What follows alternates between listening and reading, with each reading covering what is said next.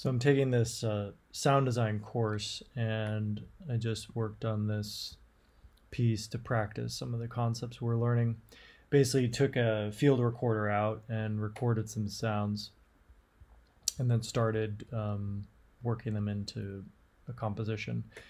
So uh, one of the sounds was an airplane. This is the source sound.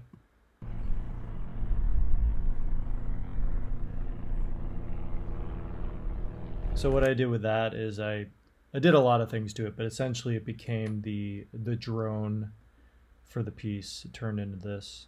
I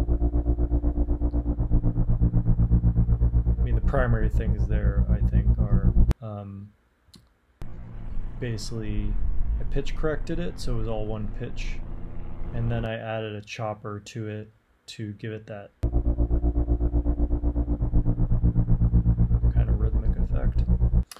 Uh, the next thing was uh, I was hitting a, a stick out in the field. So that was this. That's the original sound. And what I did with that is um, I took it, added, um, basically put it on the, the grid rhythmically, and then added some delay. To give it kind of a texture to it. The next thing, so those two things together sound like this.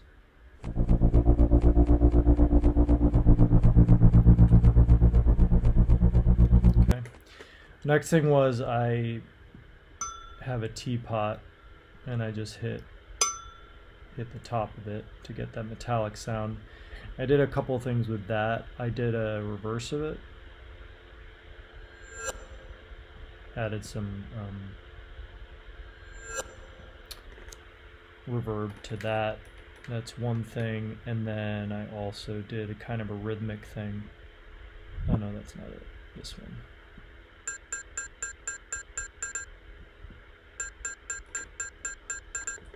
Okay, so I'll add in the rhythmic thing and the reverse.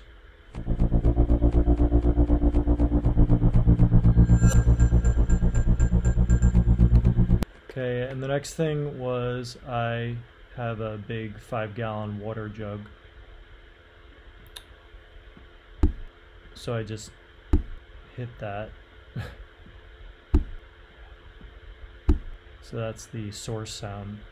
And then I did three things with this. I first of all, I I kind of doubled it up, dropped the beat, uh, dropped the um,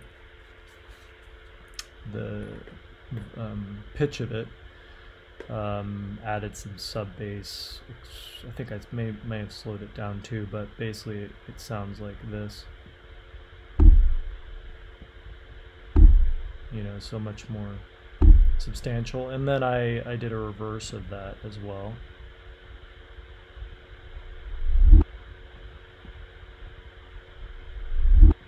Okay, so when um, all these things,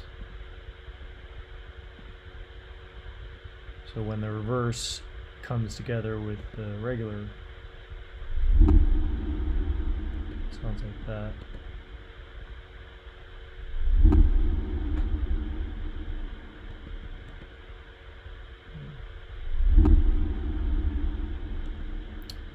And then I I also um, reversed it.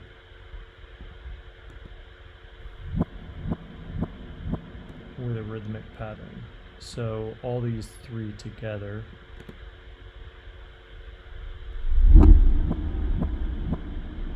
sound like that. Um, and then uh, some final two things, I just had a top sound used that down here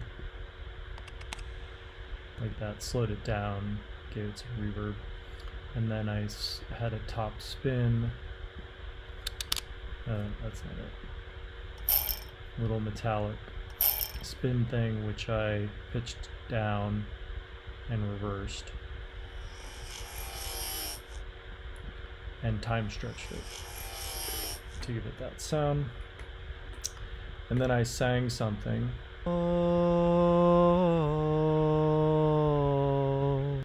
And then I did pitched it down. Added some um,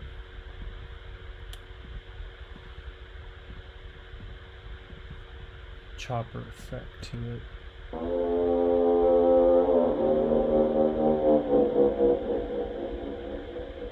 Okay, so basically, um, then all these sound effects together. Uh, sound like this.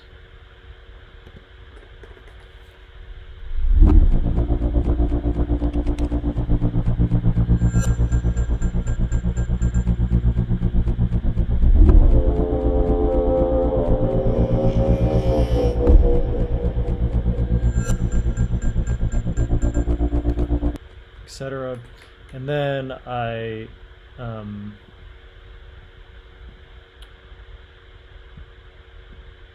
I had a instrument, some instruments that I added along with that. So if I just play everything.